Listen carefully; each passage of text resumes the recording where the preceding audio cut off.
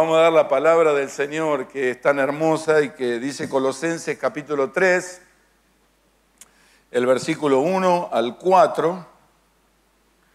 Eh, se va calmando los nervios, pero bueno, eh, no, no es, yo digo así, pero es una intranquilidad, es algo, no sé si a usted alguna vez le pasa, eh, es algo que es de parte del Señor, ¿no es cierto?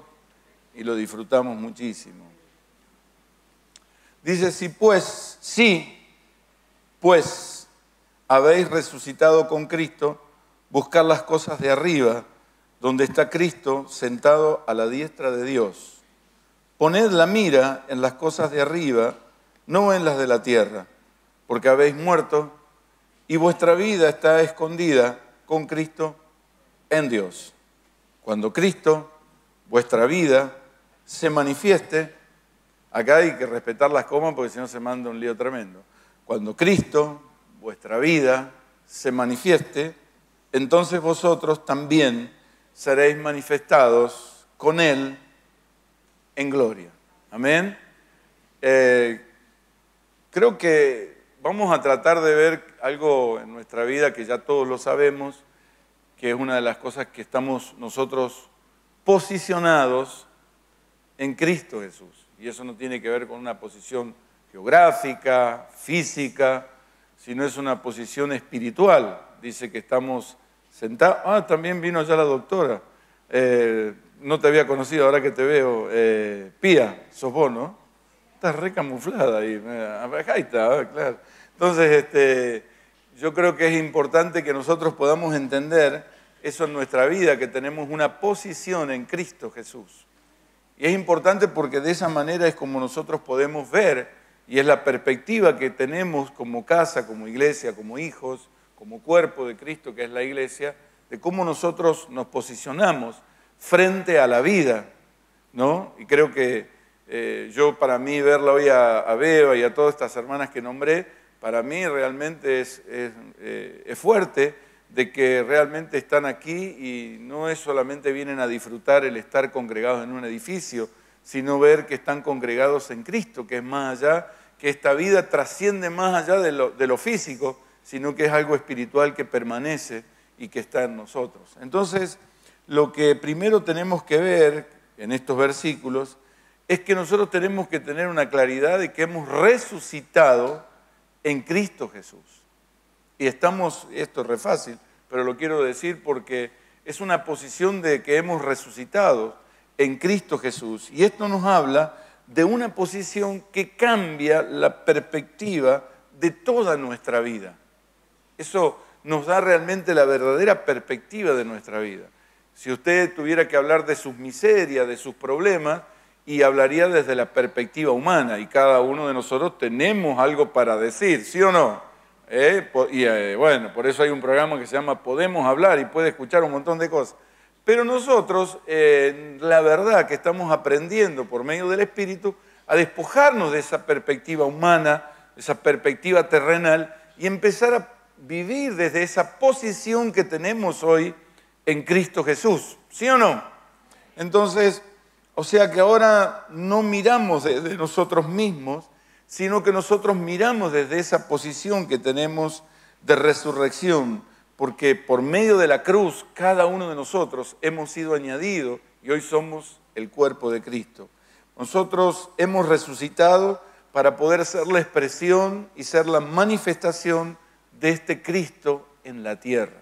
Esto lo digo a modo de introducción, ya voy a empezar a predicar. Por eso, lo que es determinante para nosotros son las cosas en las cuales nosotros en este tiempo nos concentramos, en las cuales vivimos, en las cuales decidimos, en las cuales hacemos, etcétera, etcétera.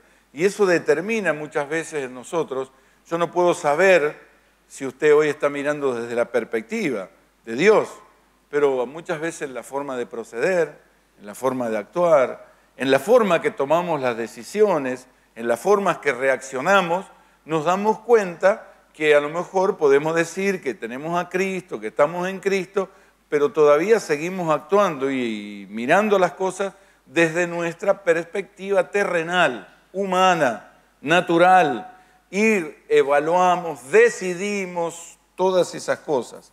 Por eso nosotros tenemos que saber que tenemos una posición que cambia la visión de las circunstancias. Diga, una posición que cambia la visión de las circunstancias.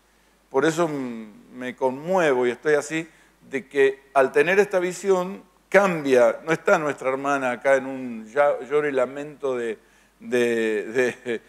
pedido de oración, sino que estamos disfrutando como cuerpo, aunque mañana alguna de ellas se tendrá que hacer una quimio o tiene que enfrentar diagnósticos. Entonces cambia la perspectiva de nuestra visión y de nuestras circunstancias, ¿no es cierto? Y es importante que eso vaya creciendo en cada una de nuestras vidas, ¿no? Yo le decía ayer a Adela, escuchaba el otro día un reportaje que estaban hablando en un programa, que quizá usted lo vio, que estaba el cantante de La Mancha de Rolando, algo así, ¿no? Y él decía, y le dice el otro, ¿y vos cómo haces las canciones? Y yo entro a una pieza, a mi cuarto, y bueno, me pongo con la guitarra y lo que me viene, la inspiración, empiezo a escribir y dice, eso es mágico. Y le digo a Adela, ¿viste? Es parecido a nosotros. Nosotros nos encerramos en una pieza, oramos y le pedimos a Dios que nos hable. Y eso tiene, es mágico, es algo mágico. Y, todos los días en canciones y se llenan de guita. Y nosotros que tenemos la vida del Señor, estamos mirando la miseria, el hermano que no me saluda, el otro que no me miró, y hacer una canción que nos dé el Señor, bueno, tiene que pasar por el filtro del filtro, del filtro, del filtro, del otro filtro, y al final, naranja y pomeloneus. Los que son viejos saben lo que es pomeloneus. Entonces, vos sé qué perspectiva, qué visión está teniendo en estos días.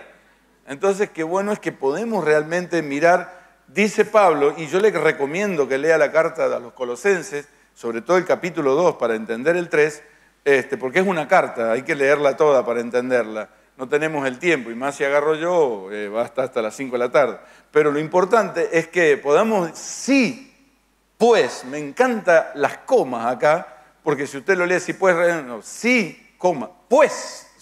Y eso tiene que ver un, que está, eh, está de acuerdo a lo que viene Pablo hablando y comentando. Pablo no sabía que esta carta a nosotros el hombre le iba a poner capítulos, versículos y lo más terrible y lo más, los títulos que se le ponen arriba.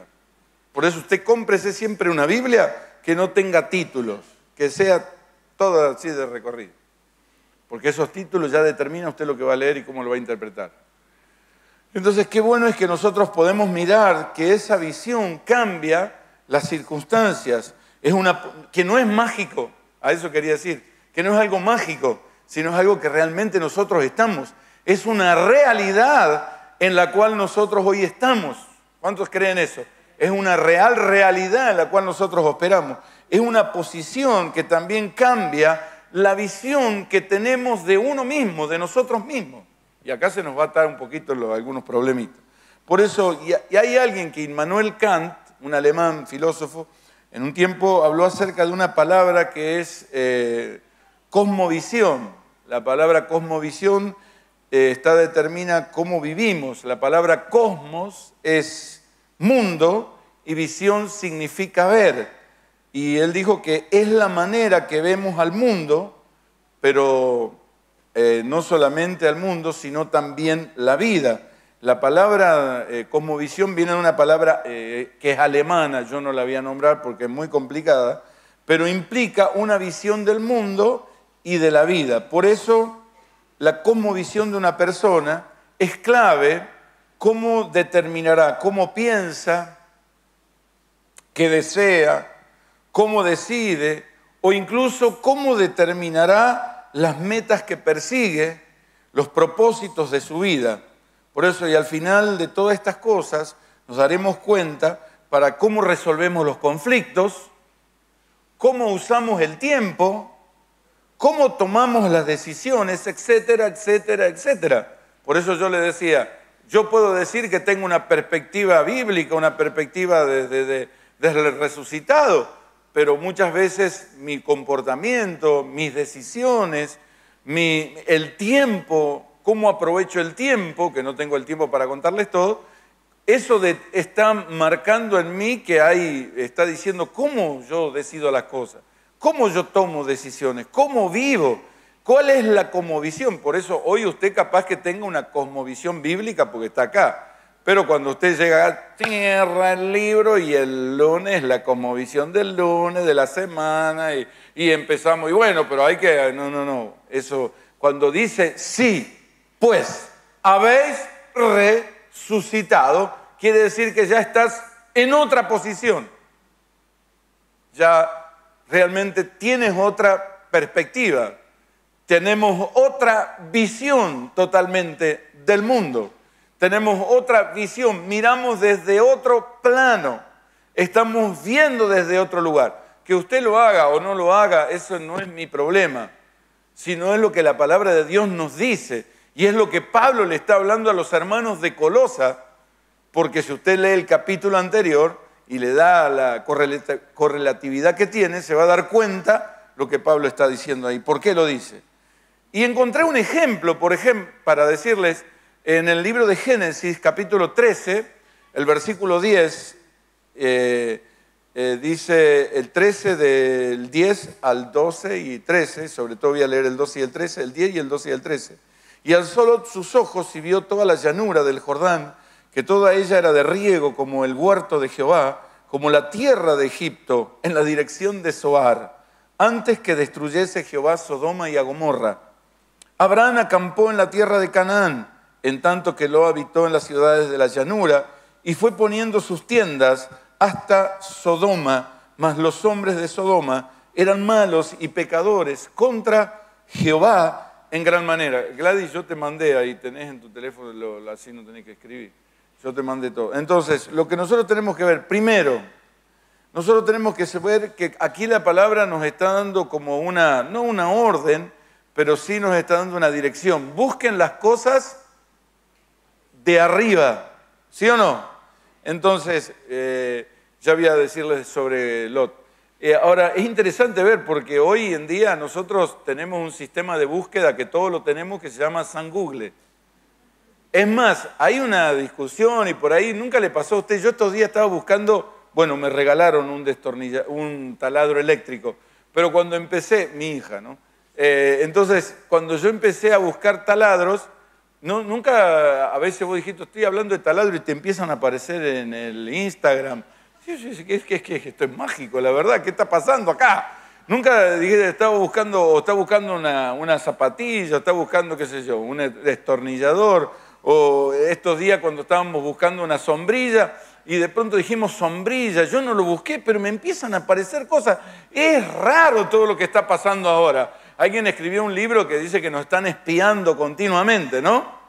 El otro día un hermano me escribió, si recibí un mensaje mío no lo conteste porque me hackearon la cuenta de Facebook, me entraron a la cuenta bancaria y me sacaron todo. Bueno, si entra en la mía va a sacar poco, pero bueno, este, eh, hoy son días realmente y el tema de búsqueda y me quedé pensando en esta palabra buscar. Busquen las cosas de arriba. Entonces, eh, entender que cuando Lot tuvo que, mire, Lot, más allá de, lo que sea, eh, Lot era un hombre que se había criado, era el sobrino de quién? De Abraham. ¿Y Abraham cómo se lo llamaba? ¿El qué? El padre, pero también cómo se lo llamó un tiempo. Amigo de quién? De Dios. Quiere decir que Abraham tenía una relación más. Abraham tenía, por, vamos a decir en versión, lo vamos a decir, costumbre levantar altares y cada altar en la vida de Abraham tenía un significado.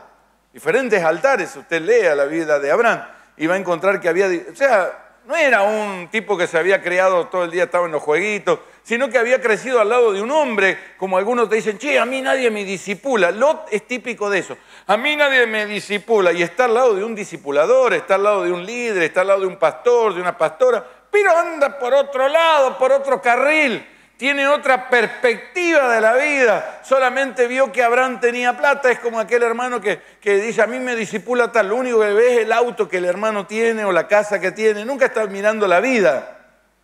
Y a Lot parece que no usaba la misma perspectiva o búsqueda de las cosas, porque ah, cuando ellos se tuvieron que separar, porque habían crecido los dos, eso no era casualidad. El Lot había crecido tanto el ganado de Lot con el ganado de Abraham y empezaron a tener algunos chisporroteos entre los que cuidaban el ganado y Abraham dijo, mira, vamos a hacer una cosa, separémonos. Si vos vas a la derecha, yo voy a la izquierda, si vos vas a la izquierda, yo voy a la derecha. Pero te doy el primer lugar, elegí vos. Y claro, vamos a así decir, Lot no usó los parámetros o los patrones con los que se había creado.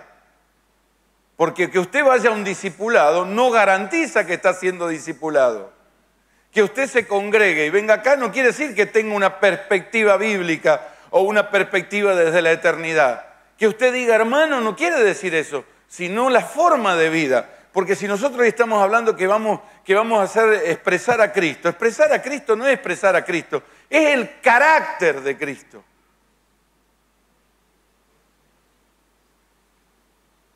No es que estemos todo el día cantando coros y estemos diciendo todos los días, sí, el Cristo está en mí, yo habito en Cristo, Cristo en mí, todo un lenguaje.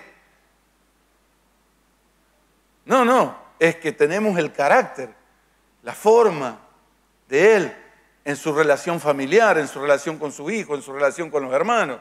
Y yo no voy a entrar en todo eso, pero que todos ya lo saben. Ahora, Lot no usó los mismos. Él nunca pensó que la tierra que él tenía que elegir no consideró a Dios. No entendía que todo el factor, todo, eh, no, no interesó a Dios como factor que afectaría su futuro. Él hizo todos los cálculos basándose en las posibles influencias de la naturaleza y de la humanidad. ¿Qué vio? Fíjese cuando usted lee, mire, Lot alzó los ojos y vio la llanura del Jordán. ¡Wow! La tierra verde, espectacular. Y que todo era de qué? De riego. ¿Cómo? Mire lo que dice, eh, a mí me llamó la atención esto. Como el huerto de Jehová. Tremendo, ¿no? Porque a veces nosotros eh, eh, usamos, y es como las cosas del Señor. Siempre ponemos esa comparación y usamos nuestras ideas, nuestras imaginaciones. Era como, pero no era el huerto. ¿Cierto? Era como, pero no era.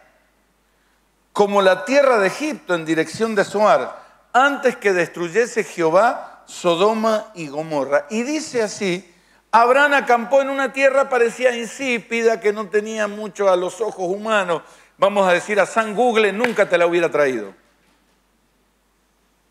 Nunca te la hubiera puesto. Pero él usó un sistema de búsqueda totalmente humano, totalmente natural, basado no desde una perspectiva eterna, sino basado en términos humanos, en cálculos humanos. ¿Y qué está mal? No, no, no, no, consideró a Dios para nada aunque se había creado al lado de uno que decía que era amigo de Dios. Y usted no puede ser amigo de quien no conoce. Porque hoy los chicos se saludan, amigo, amiga, y ni se conocen. Yo, yo la verdad no tengo muchos amigos. Amigos tengo, pero con los que hablo. Nosotros con Tito, con Miguel, eh, que hace años que nos conocemos, ¿no es cierto? Y nunca tuvimos un no ni un sí, nada. No, y también con Pablo, Rodrigo y todo lo que está en el ministerio, pero eh, amigo es con a quien yo le conozco a los hijos, le conozco a los nietos, sé todo lo que ellos hacen. Por eso cuando recibí, cantamos, fui a abrazar, más que saludarlo, porque realmente te sentía del, Señor que, cómo se siente Miguel uno casado con una abuela ahora. o con un abuelo. Entonces, es que realmente es eso lo que nos interesa, ya no hay otras cosas más importantes. Entonces Abraham no era un desconocido para, vamos a decir, amigo, usted le conoce a alguien que está todos los días, que conoce, y Lot era el sobrino, estaba ahí. Por eso muchas veces nosotros creemos que crecemos en la vida, crecemos en la iglesia por estar juntos, pero no nos conocemos, no hemos desarrollado una relación, no hemos desarrollado una vida de intimidad y después cuando hay un chisporroteo ya agarramos. Y usamos otros parámetros para usamos como lo, usó lo humano, usó lo natural. Digo, eh, la tierra, mira, yo fui ahora a un lugar, ay, yo le digo a Adela, yo me vengo a vivir acá. ¿O no? Pero no es, no es mi lugar donde Dios. Y tengo que volver la perla del sur de Córdoba. Pero es donde Dios nos puso, ¿o no? ¿O no? ¿No fuiste a Bariloche? Che, ¿no fuiste a ese lugar? ¡Ah, yo me vengo acá! Y, después que fuimos a Noruega, todos sentían llamado para Noruega. Venite en invierno y te quiero ver. Entonces, bueno, entonces siempre miramos humanamente porque nosotros tenemos una sensibilidad humana. Muy fácil que nos atraen las cosas y nos llevan. Y, no, y lo más terrible es que decimos y no consideramos a Dios en el asunto. Vamos así decir. Y esto fue grave, porque esto a Lot le trajo graves problemas. No solamente que había elegido mal, que decidió mal, que no consideró a Dios, que no planificó al futuro, se acercó a Sodoma y a Gomorra, y ustedes saben cómo terminó toda la cosa. ¿O no fue así? Entonces lo primero que tenemos que ver, cuando dice busquen las cosas de arriba, no tiene, eh, no tiene que ver que buscamos, porque es la naturaleza que hoy nosotros tenemos. Si pues habéis resucitado. Y esto no es que si, como decíamos antes, che, vos tenés el carnet de bautizado, vos sos bautizado. No, no estamos hablando si sos bautizado, porque más allá que nos identificamos con la muerte y resurrección, nosotros no está diciendo eso, si somos bautizados o no. Si pues habéis resucitado, te está diciendo que lo que debemos buscar, la vida del resucitado, que es Cristo, la cual nos habita, no busca las cosas terrenales, busca las cosas eternas. Son las que realmente le darán dirección y tenemos un futuro totalmente asegurado. O sea, tuvo, vamos a decir así, eh, Lot tuvo una visión total, neta y pura horizontal. Porque hoy tenemos una generación que todo lo que viene lindo ya es de Dios. Todo, todo viene bien, todo es de Dios. Dale, para adelante. Vamos, todo, está bien. No, no, hagamos esto, hagamos lo que otra. No consideramos a Dios el orar, el esperar, el quedarnos quietos en el Señor, el reposo que tenemos en el Señor, eso no existe. Somos impulsivos, enseguida tomamos eh, eh, determinaciones y nos vamos adelante. No consideramos el mañana, no consideramos a Dios que tiene el control, que es la guía, que tiene una visión global de todas las cosas.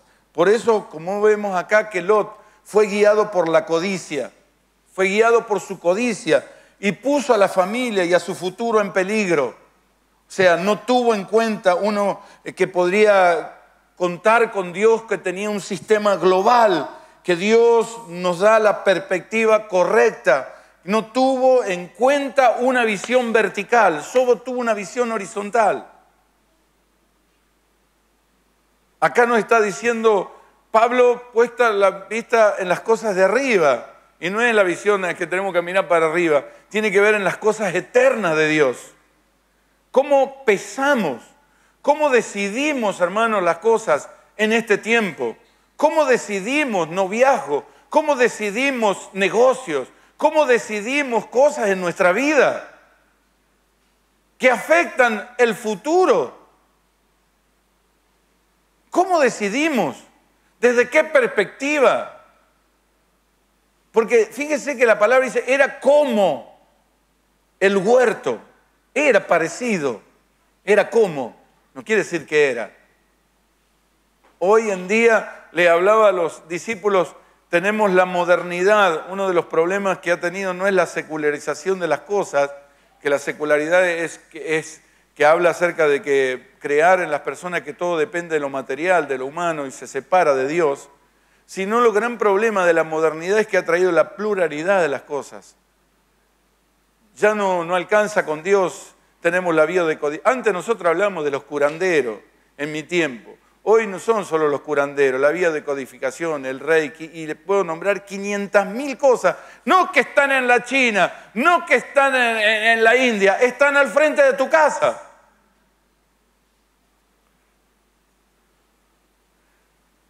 Entonces, qué bueno es que nosotros podemos mirar desde esa perspectiva eterna y, ver desde esa visión lo que Dios nos ha dado, todo lo que Dios nos ha dado en Cristo. Y el hermano, y, solo le falta congregarse porque es tan bueno, Dios no tiene ni bueno ni malo. Voy a derribarte algo. Dios no tiene ni bueno ni malo, Dios tiene cosas eternas. Porque el árbol de la ciencia del bien era bueno y malo había un árbol de la vida, que es otra cosa.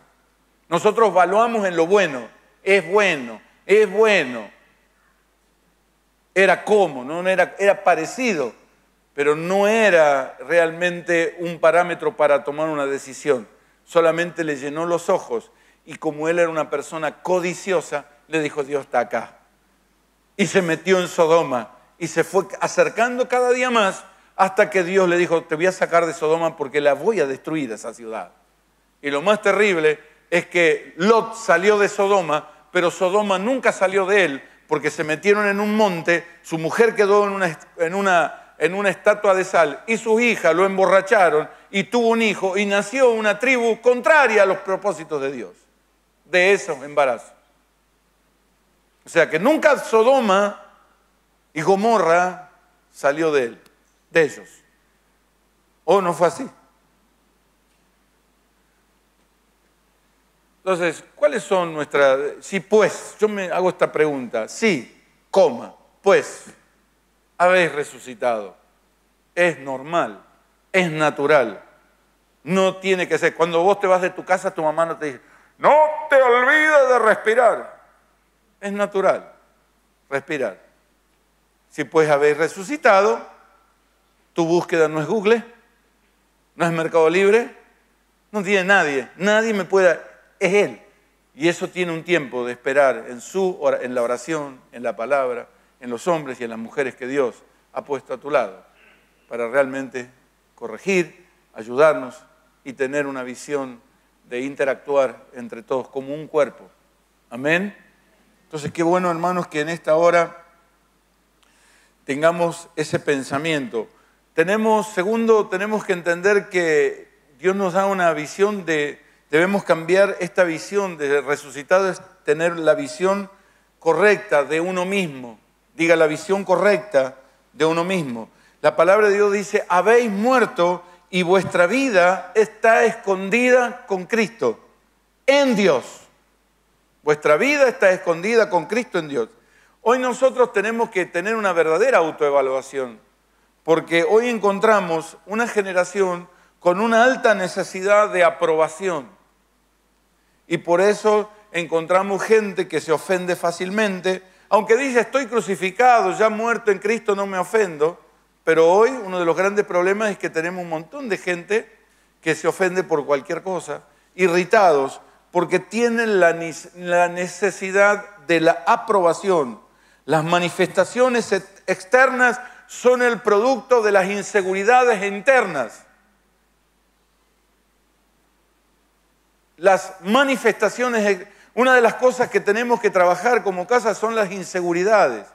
La inseguridad que hay en hoy nosotros tenemos una generación que está consumiendo las redes sociales, y no digo que está mal, pero si no le dan el like, no me dan me gusta, andan mucho frustrados.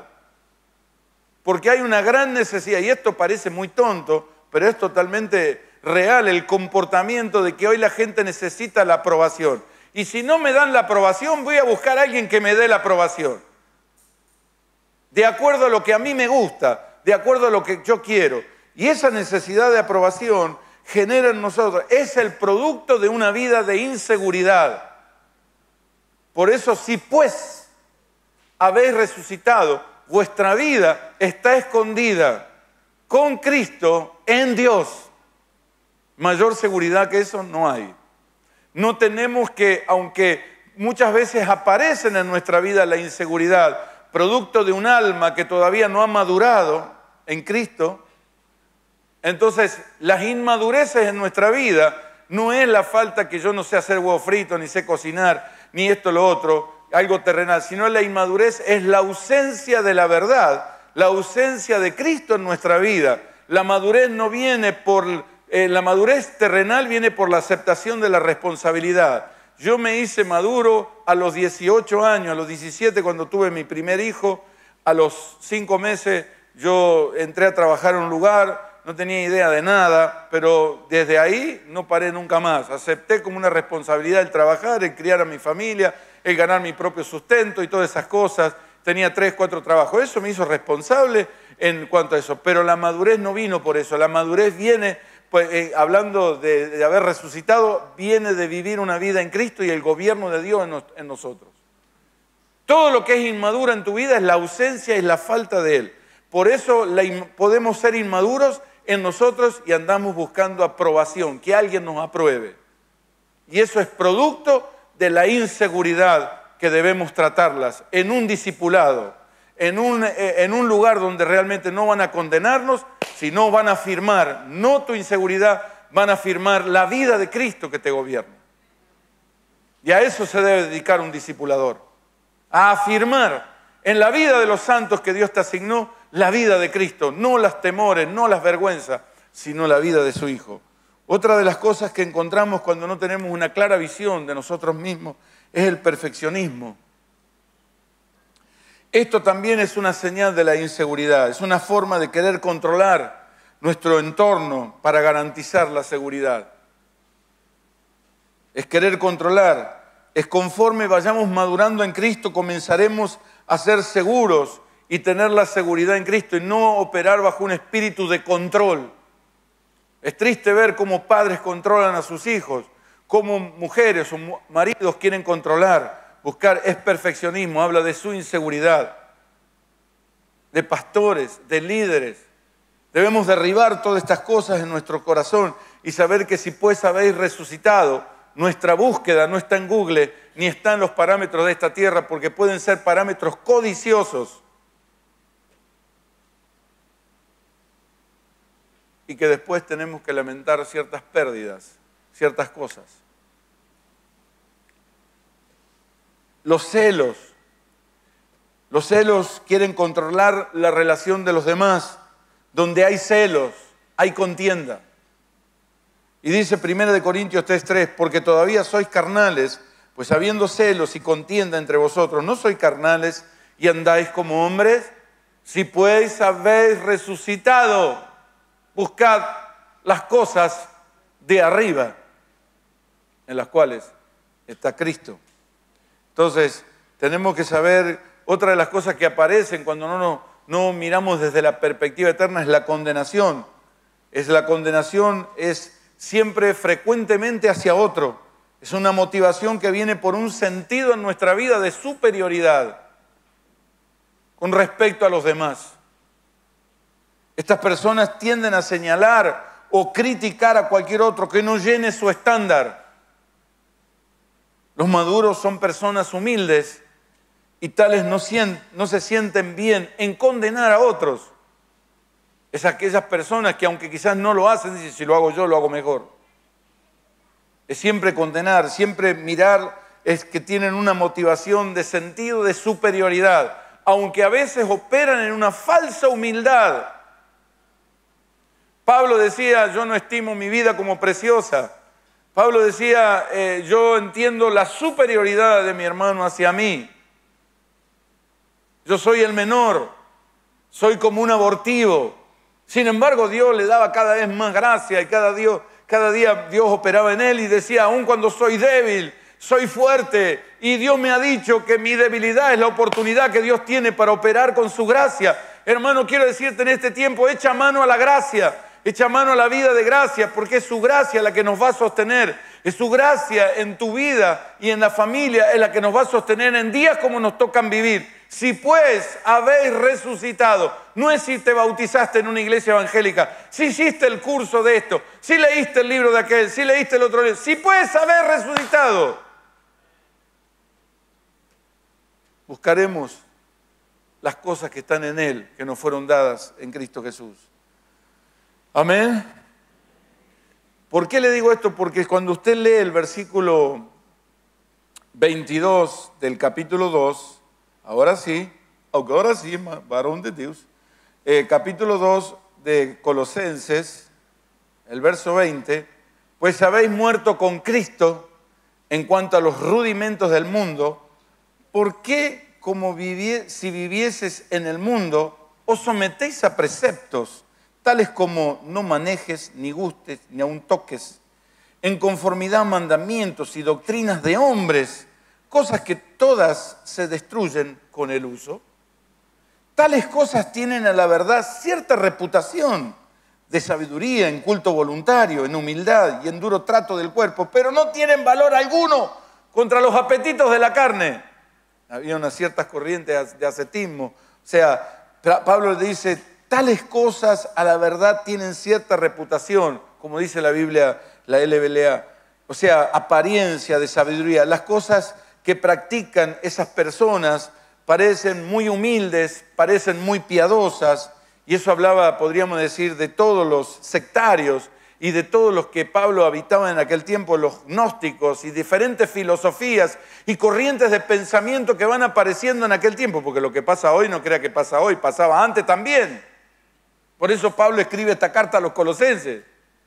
Entonces le está diciendo, piensan que la ropa negra, el celibato, las cosas que parecen, se vestían de una manera que tenían una cierta apariencia de piedad.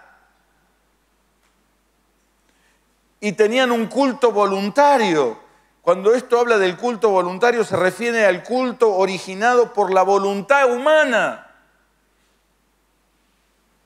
Imagínese cuando los hombres cada día inventan su propio culto aunque supuestamente dicen que es para honrar a Dios, no saben que Dios ya nos ha revelado su voluntad. Su voluntad no está en vivir una vida zeta, en una vida rendida, en una vida que me he visto de negro, bueno, ahora no, o que voy allá, que hago esto, que hago aquello, que oro tres veces al día, que digo la Biblia, que hago lo otro. Todo eso es culto voluntario cuando Dios nos ha dado su voluntad en la cual Dios nos ha llevado. Mira, vinieron un día a investigarlo a Jesús y le dijeron, ¿sabe una cosa Jesús? Está tu madre y está tu hermano. Y Jesús hizo así, ¿quién es mi madre y quiénes son mi hermano sino aquellos que hacen la voluntad de mi Padre?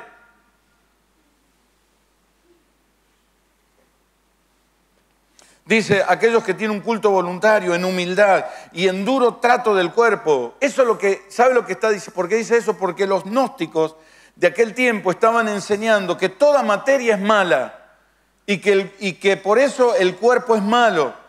Esta era una forma filosófica de pensar. Y algunos pensaban que el cuerpo hiciera que lo que el cuerpo hiciera, por ejemplo, no afectaba el espíritu y por eso practicaban el libertinaje, la inmoralidad, toda clase de pecado sexual y de toda clase de miserias humanas, porque ellos pensaban que el cuerpo era malo y pensaban que el cuerpo quisiera lo que hiciera no afectaba al espíritu. El secularismo lo que hace es separar, pero nosotros somos un cuerpo, un espíritu y un alma. Somos uno. Otros decían que el cuerpo siendo malo era el enemigo del espíritu y por eso debían ser maltratados, por eso lo maltrataban y hacían un montón de cosas. Por eso Pablo le dice, no conviene el duro trato del cuerpo, porque Dios es el creador del cuerpo como también del espíritu del hombre. Y Pablo está diciendo que cada uno de nosotros somos el templo y la vida del Espíritu habita en cada uno de nosotros. Entonces, por eso Pablo dice, hermano, todas estas cosas no tienen valor alguna contra los apetitos de la carne. En otras palabras, usted por más que se esfuerce, por más que quiera hacerlo de acuerdo a su forma, nunca podrá vencer los apetitos de la carne. De la única manera es morir. Habéis muerto y has resucitado entonces esa vida busca las cosas de arriba. En Google te aparecen. ¿Sabe qué? ¿Sabe por qué hay mucha gente que no tiene más conocimiento de Dios? Porque no busca las cosas de Dios. Yo estos días me preguntaba, dice que Dios no revela más por la incredulidad, por la dureza de corazón. Entonces usted pregúntese, ¿por qué yo no tengo el deseo de buscar a Dios, de leer la palabra, de orar, de amar, de perdonar, de testificar? Pregunte. Si puedes haber resucitado, buscamos las cosas de arriba. O cuando tenemos que decidir solamente que nuestros ojos, llena el bolsillo, llena lo, lo que a mí me gusta, lo hago. Nunca miro al futuro. Digo, Señor, ¿qué pasará? Más adelante. ¿Cómo son las cosas? ¿Cierto? Y las filosofías de hoy, hay que tener, hay que hacer, hay que hacer. Yo, vamos,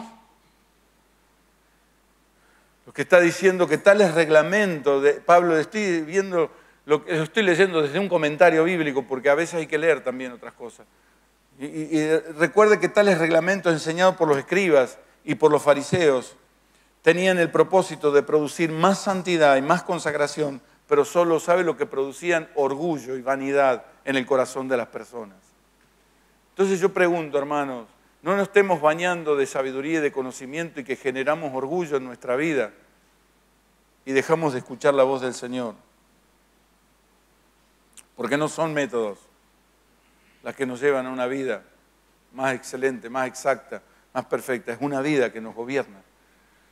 Y todo nos quiere sacar de, por eso les dije recién, cuando nosotros entendemos desde la perspectiva eh, eh, correcta, desde la posición que tenemos en Cristo, Pablo se encarga en el libro de Efesios de hablarnos de que juntamente con Él estamos sentados en lugares celestiales. Por eso cuando usted ve, ve en el Nuevo Testamento, Pablo hablaba de, no fui rebelde a la visión celestial. Hermano, usted sabe que en el antiguo pacto cuando alguien era rebelde era porque no hacía lo que Dios le pedía, pero en el nuevo pacto tiene que ver, no tiene que ver con lo que Dios le pedía, es con lo que usted está viendo. Y si usted está viendo y no lo hace, está revelado, no contra la iglesia, no contra el hermano, está revelado contra un propósito eterno de Dios, está revelado contra Dios. Dice Pablo, no fui rebelde a la visión celestial. ¿Qué es lo que te consume la vida hoy? La visión terrenal, la cosmovisión. El problema no lo tiene el mundo, el problema es cómo yo lo veo, desde dónde lo estoy viendo. ¿Desde dónde lo estoy percibiendo? O están todos contra mí, todos son mis enemigos, todos son mis guerras, porque lo estoy viendo desde un plano natural. Y en el plano natural es así. ¿O usted cree que fue a la cruz Jesús fracasó? Lo querían matar, lo crucificaron, le metieron unos clavos así, lo escupieron, le clavaron espina en la cabeza. Claro, en el mundo de hoy eso sería un fracaso, pero Jesús dijo, consumado es en la cruz. Y al tercer día resucitó y levantó un ejército más poderoso. Él es la cabeza y levantó un cuerpo. Como dice Pablo, la supereminente grandeza del poder de Dios que opera en nosotros hoy. ¿Se da cuenta, hermano? No, no, no. Eh, Lot fue confundido, no te confundas, porque puede parecer tener la apariencia. Mira, Pablo identificó el tiempo y le dijo, ¿Sabes una cosa, Timoteo? Debes saber esto. En los postreros días habrá hombres amadores de sí mismos, intemperantes, infatuados, personas que tendrán la apariencia de piedad, pero negarán la eficacia de ella. En otras palabras, personas que se van a congregar en cultos, van a levantar las manos, van a ser parte de, pero no creerán lo que están, lo que están haciendo. No creerán la eficacia de la oración, la eficacia de su palabra, la eficacia de vivir una vida en santidad, la eficacia de vivir una vida que agrade a Dios, la eficacia de, consagrar su vida, aunque la panza le engordó y a lo mejor todo eso. No, no, no, no, no está renegando en eso. Está viendo si la vida de Cristo, si engorda, desengorda o aflaca, eso está bien, hágalo porque no está mal. Pero lo que estoy diciendo, no estamos enfocados en solamente en las cosas. Eh, hay un desbalance hoy en el cuerpo y la vida del espíritu. Yo digo, si vas a alimentar la vida del cuerpo, alimentar también la vida del espíritu igual o más. Porque el verdadero equilibrio no lo logra una balanza, el verdadero equilibrio en nuestra vida nunca lo logrará una balanza, ni nunca lo logrará en términos humanos. El verdadero equilibrio está en Él, nada más. Así que no creas muchos aquellos que quieren equilibrar tu vida con ciertos preceptos humanos. Te vas a sentir bien si haces esto te vas y comes porote y garbanzo, te vas a sentir, te va a hacer bien el cuerpo nada más. Pero sentirme bien, ni hepatalgina me lo puede dar. El sentir bien está en la vida del espíritu.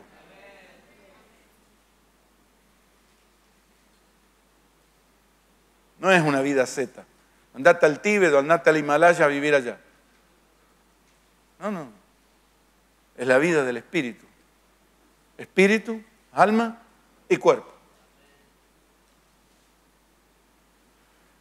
Mira, 1 de Corintios 9:24 dice Pablo, ¿no sabéis que los que corren en el estadio, todas la verdad corren, pero solo uno obtiene el premio? Corred de tal manera que ganéis. Y todo el que compite en los juegos se obtiene de todo. Ellos hacen para recibir una corona corruptible, pero nosotros una incorruptible. Por tanto, yo de esta manera corro. ¿Cómo corre usted? Yo de esta manera corro.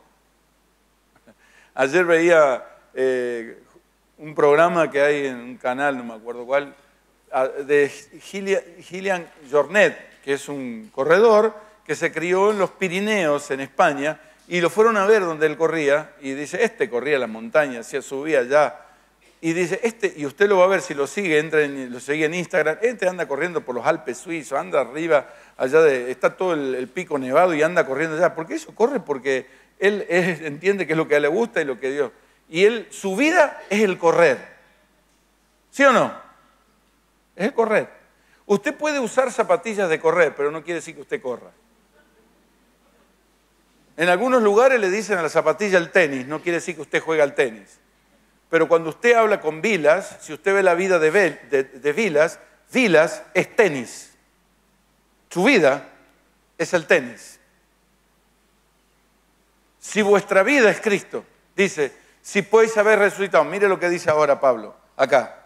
Mira lo que dice, eh, Cristo es nuestra vida. Mire, léalo, si tiene ahí el texto lo podés poner, la última parte, así termino. Cuatro, cuando Cristo, vuestra vida. Usted puede usar zapatillas de tenis, pero no quiere decir que su vida es el tenis. Usted puede tener la Biblia, pero no quiere decir que la Biblia, que su vida es Cristo. Usted puede estar hoy acá, yo puedo estar hoy acá, pero Cristo no es mi vida. Hay otras cosas. Estaba leyendo un libro eh, acerca de que, estaba viendo acerca de que hoy Dios se ha corrido a los márgenes. Tiempos anterior, siglos pasados, Él era la centralidad. Nosotros hablamos de la centralidad de Cristo. Pero en el mundo, Dios era la, la religión era la centralidad. Hoy Dios está en los márgenes. Lo más terrible es que no esté en la centralidad todavía de nuestra vida que Dios esté en, la en el margen de tu agenda, que esté en el margen de tu vida, no sea el centro, no sea por quien rige todas las cosas.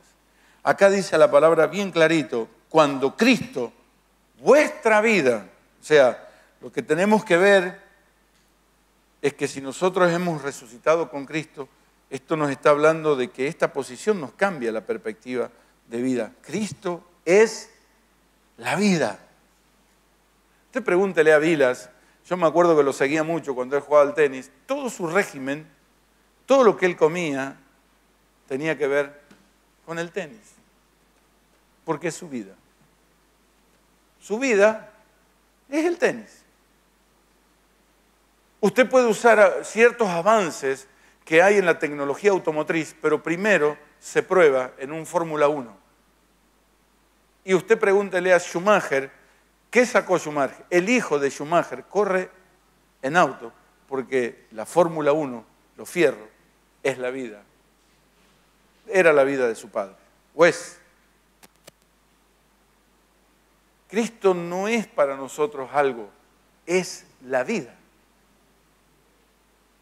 Pero no como la vida, es vida, que habita en mi vida, pero no solamente que habita, sino es mi vida como Cristo, vivo Cristo, expreso, manifiesto. Y esto no tiene que ver con declarar. Yo le decía a Adela, cuando Jesús estuvo en la oración gloriosa del capítulo 17, dijo, Padre, yo les he dado mi gloria para que sean uno, como tú y yo somos uno. ¿Qué es la gloria? Quiero definírsela así en esta mañana. La gloria es el carácter de Dios en nuestra vida es la suma de Dios en nosotros. El carácter de Dios. Padre, que sean uno, como tú y yo somos uno. El carácter, su forma. Si nosotros queremos que aparezca Cristo, no es porque va a aparecer por una campaña en la plaza, va a aparecer porque en un hogar Cristo está siendo formado en los hijos, está siendo formado en el matrimonio. Los dos han muerto y han resucitado en Cristo, han muerto al, yo, han muerto a sus deseos, han muerto a sus pasiones, han muerto a sus ideas, han muerto a su visión, porque ahora es Cristo la vida.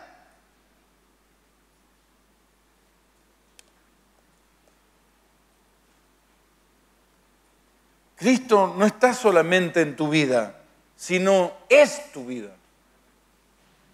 Cristo es la esencia de quien nosotros somos.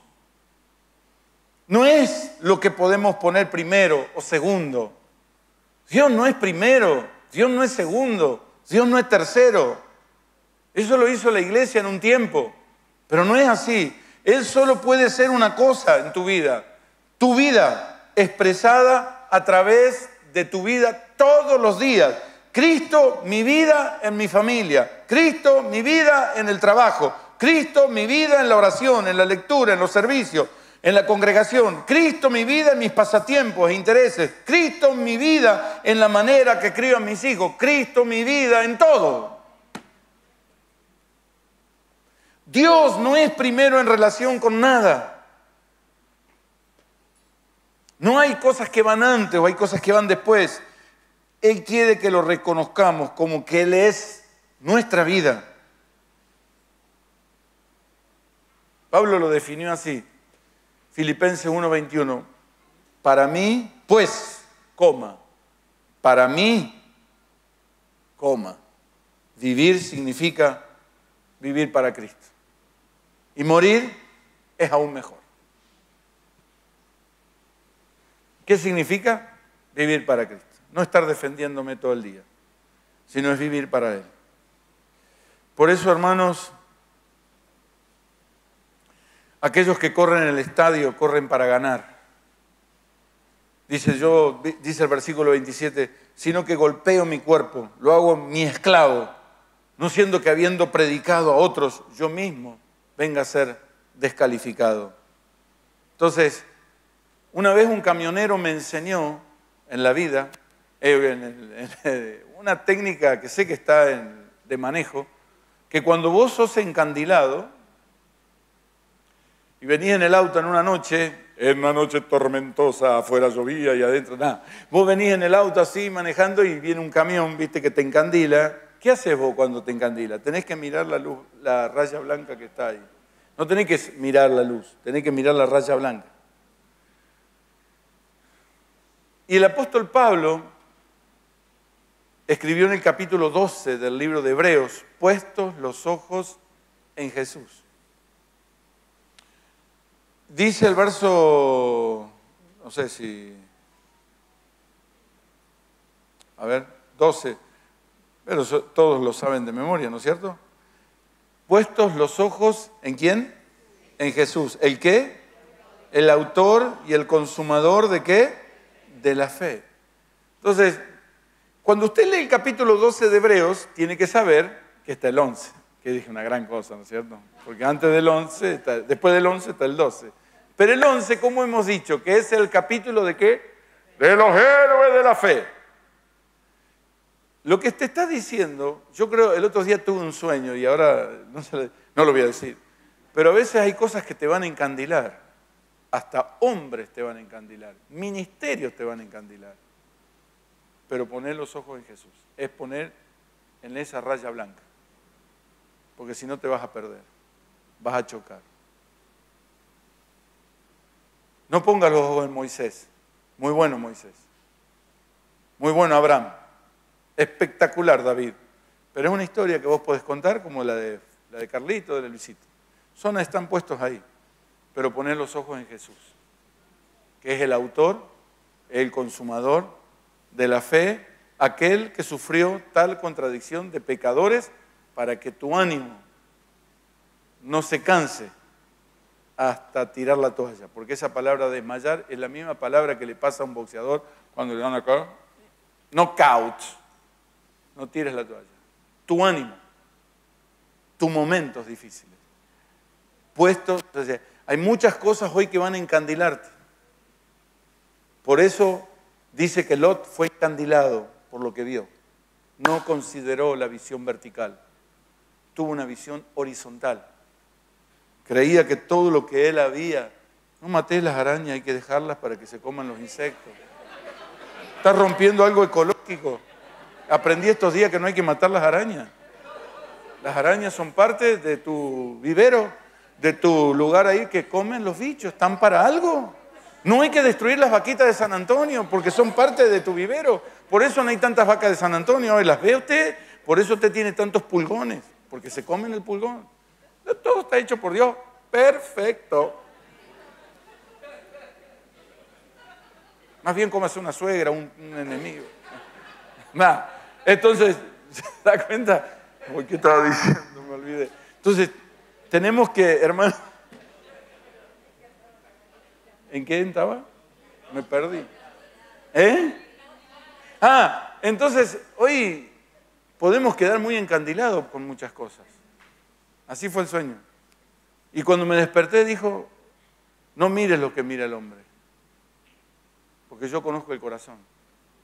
No te encandiles con ciertas cosas humanas. No deja de andar admirando tantas cosas humanas. Y mira, mira, poner tus ojos en estos tiempos en Jesús. Agarrá el Nuevo Testamento, léelo. Agarrá los, los evangelios. Mirá los principios de él. No te encandiles con muchas cosas que van. Por eso encuentro, no, es que a mí, y claro, fuiste encandilado. ¿Sabe que cuando te encandilás, me decía este camionero, mirá la raya blanca? Porque si no mirá la raya blanca, te podés chocar o te vas. O te vas a la zanja. ¿No es cierto? Poné, volvé a, yo le digo iglesia, volvé a poner tus ojos en el... Deja de andar mirar las fallas de tu hermano. Deja de andar mirando, oh, lo que pasa es que yo no puedo dejar de ver. Tu cosmovisión. El problema no es el mundo, es tu cosmovisión, cómo vos lo ves. Desde los celos, desde buscar aprobación, desde el perfeccionismo y etcétera, etcétera, etcétera, etcétera. Podríamos ponerle todas las cosas. Y esa es nuestra forma de ver. Pero cuando hemos resucitado y ponemos la mirada en Jesús, las cosas eternas, vamos a ver el carácter de Cristo en los santos, vamos a ver el carácter de Cristo en la iglesia, vamos a ver a Cristo, cuando decimos a Cristo aparecer, ¿sabe qué? Y vamos a ver el carácter, gente que perdona, gente que ama en medio de la adversidad, gente que no anda chusmeando, gente que ha cambiado su estándar de vida, que no está buscando la aprobación, que realmente puede amar y que a lo mejor no dijo correctamente algunas palabras, pero lo podemos amar y lo podemos bendecir y le podemos enseñar, donde podemos ver que el otro, que el otro aún es superior a mí. No andamos creando un culto voluntario, sino entendemos que Dios ya planificó una voluntad. Y la voluntad no está en, en, lo que yo te digo que tenés que hacer, la voluntad está en Dios, la voluntad está en su Hijo, la voluntad está en su propósito eterno, a la cual nosotros debemos someternos. Debemos comprobar, dice Romanos, que debemos comprobar la buena, la agradable, la perfecta voluntad. La agradable, la perfecta voluntad no es que esté hoy aquí, la agradable y perfecta voluntad de su Hijo, en la cual nosotros estamos y tenemos que descansar. Porque si fuera la perfecta voluntad venir acá, entonces me vengo a vivir acá. Y Pablo lo ejemplificó de esta manera. Eh, viene bravo ahí. Hebreos 10, 23, y con esto finiquitado, finish. Aunque algunos hermanos dicen que yo como mucho. Nunca digo, termina, soy como un barril sin fondo. Pero bueno, Hebreos 10, 23. Mantengámonos firmes sin fluctuar la profesión de nuestra esperanza, porque fiel es el que prometió. Y mire lo que dice acá. Y considerémonos, si considerate al hermano. Por eso yo tomé estos ejemplos hoy. Considerémonos unos a otros. ¿Para qué? Para estimularnos. ¿Sabe que la palabra estímulo es una palabra que habla de dar pinchazos. Y en el libro de Oseas encontramos a los, eh, no, Oseas no, en el otro profeta, Amós, encontramos a los Amoses, Amós que eran los que pinchaban, voy a decirlo así bien versión cordobés, los higos, los estimulaban, ¿eh? Los estimulaban, ya me sale una canción cuando digo estimulaban. Me puedo pero no, esa es otra cosa lo estimulaban, lo estimulaban, los pinchaban, ¿para qué? Para que el higo se vuelva más grande y más dulce. Entonces, el estímulo de Dios muchas veces te pincha, los amoses hacían eso, y, y, estimulando, ¿para qué? ¿A qué nos estimulamos? Siga, ¿a qué más? ¿Y a qué? Y a las buenas obras. Y dice acá, mire qué cosa dice acá. No dejando de congregarnos como algunos tienen por costumbre, sino exhortándonos, tanto más y cuanto veis que aquel día se acerca. Entonces aquí no dice, no dejando de ir al culto.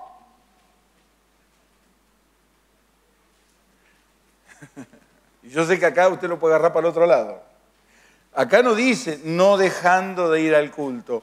Es dejar de congregarnos en su cuerpo. No es congregarnos el jueves en el bebé, no es congregarnos en el discipulado que hace bien, no es no congregarnos, congregarnos en la reunión de jóvenes, de adolescentes, de casados, separados, viudos, en proyectos de casamiento, todo eso. No, no, no. Ni el domingo, sino es congregarnos siete por 24 en el lugar donde nos congregamos, que fue abierto ya y que está abierto y que la pandemia no lo pudo cerrar. Y se llama gracia que es el cuerpo de Cristo, que son los lugares celestiales donde nosotros estamos congregados con Él, en Cristo, en Dios, vivimos ahí. Ese es donde usted no debe dejar de congregarse, porque está comprobado que los que se congregan muchas veces en un lugar físico son iguales que los que no se congregan en un lugar físico. Nunca el Señor habló de un lugar físico, habló de un lugar celestial, habló de una posición espiritual. Usted no puede levantarse a la mañana y no estar congregado en Él.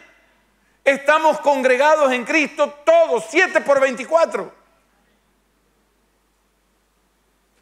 ¿Usted sabe qué es 7 por 24? 7 días por 24 horas, todo el tiempo. Hermano, yo no congrego. Y, viste que los pastores somos así. ¿Cómo le va, hermana? Hace mucho que no la veo por la reunión. Ya salió el pastor de adentro.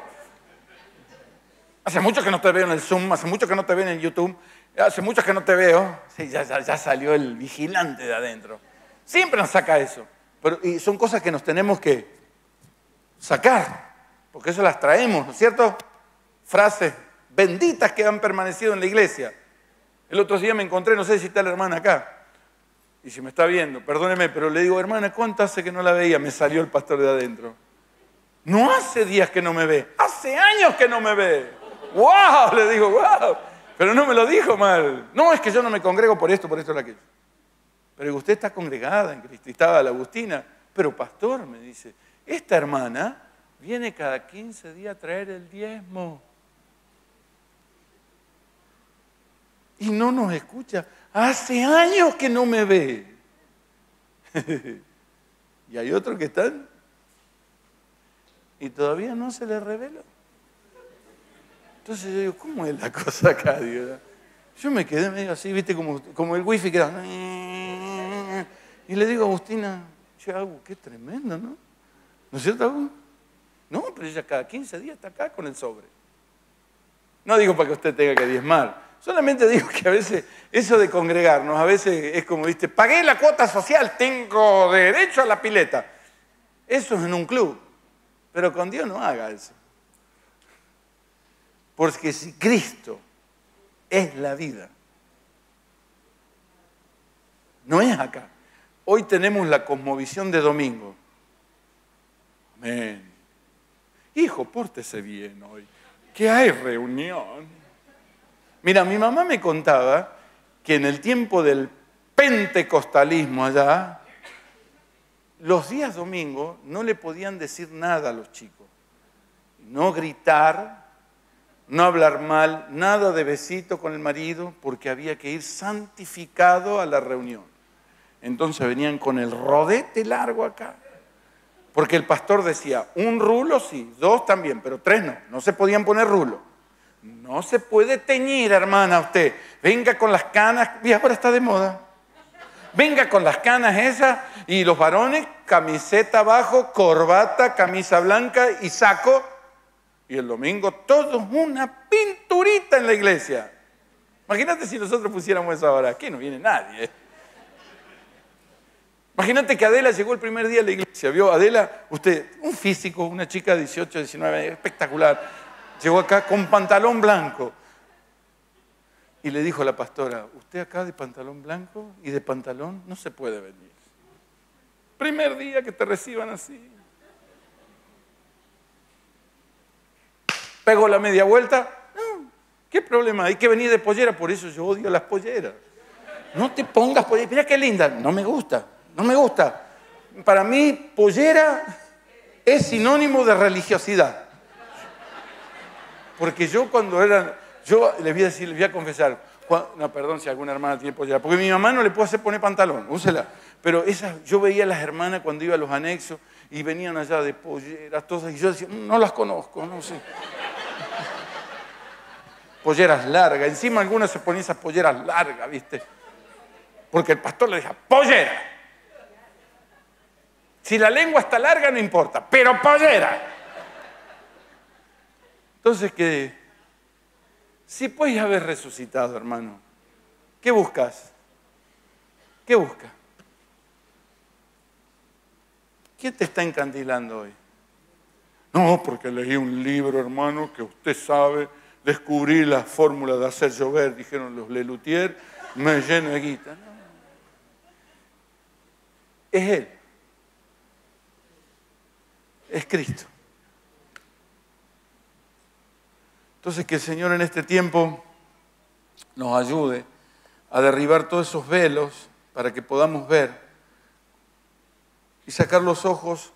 Vio que hoy, hermano, viene un, eh, qué sé yo, en el fútbol, esta es referencia de River. ¿Sí? Esta es referencia de Boca. Esta es referencia en la iglesia. Traemos lo mismo a la iglesia. Hermano, sacar los ojos, sacar los ojos de las referencias y pongámoslos. ¿eh? Sí, y los ojos. Todo. Y pongámoslo en Jesús. No, porque esta es mi referencia. Esta es mi referencia. Esta es mi referencia. Resulta que el referencia, pafatúfete.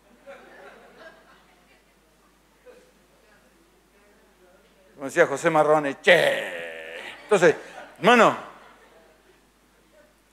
mi Jesús, el autor, el consumador de la fe, para que tu ánimo, ¿viste?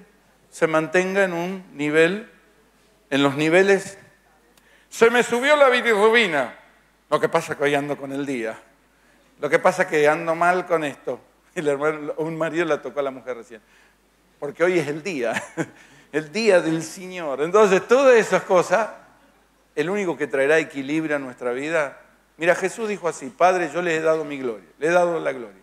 ¿Para qué? ¿Para qué le diste la gloria? Para que sean uno, en unidad, como tú y yo somos uno. ¿Sabe qué le estaba diciendo? Le he dado los atributos, le he dado, le he dado, he dado el carácter.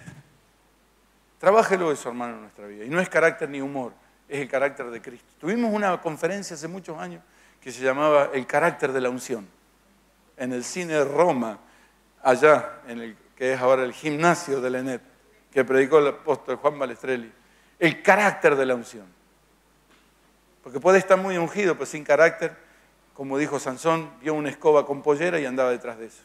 Sí, resucitaba enfermo, tumbaba gente, mataba a los otros.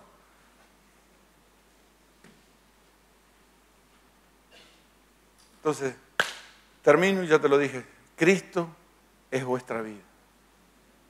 Cristo es vuestra vida. Él es la vida. Que el Señor nos guíe en este tiempo. Saca los ojos de la referencia y pongamos los ojos, le voy a decir así para terminar, cerré esto, que conste en acta, pongámoslo en la verdadera referencia.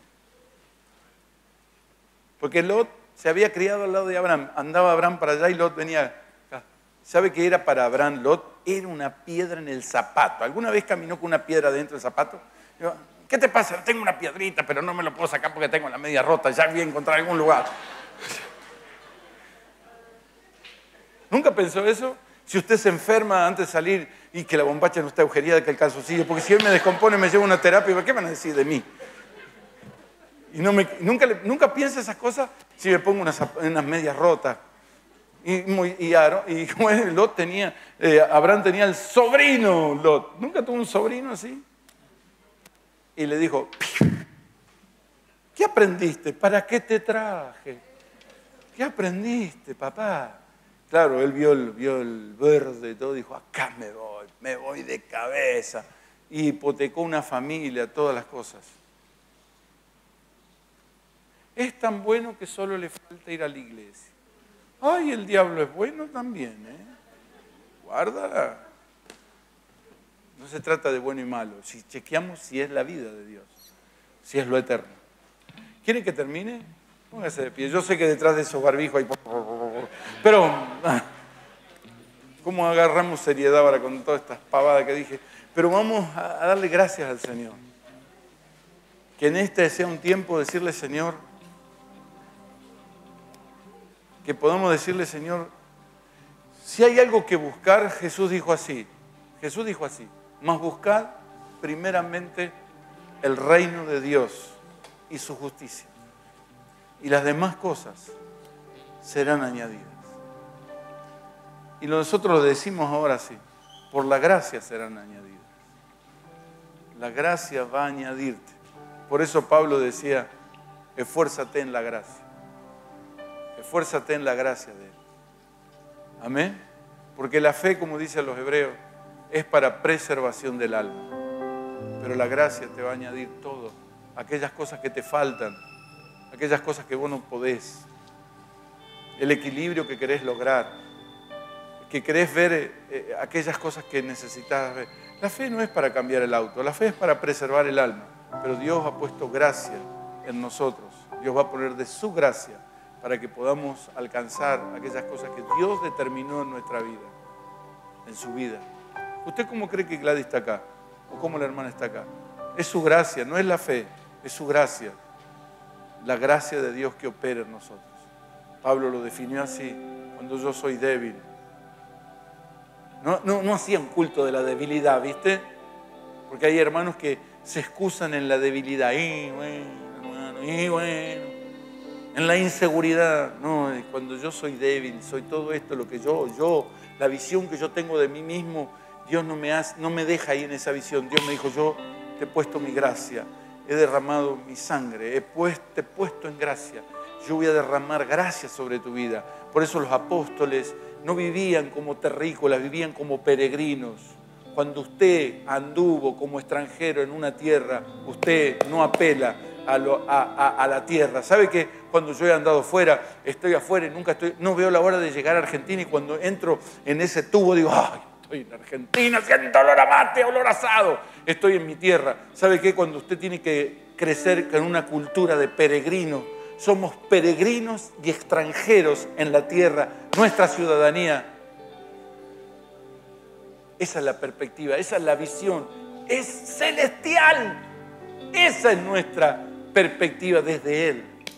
No tenemos parámetros humanos, sino tenemos lo eterno, porque te irá bien con el Señor. Aun cuando estés solo, cuando estés mal, el Señor nos sostendrá. Y yo quiero que levantes tu mano ahí.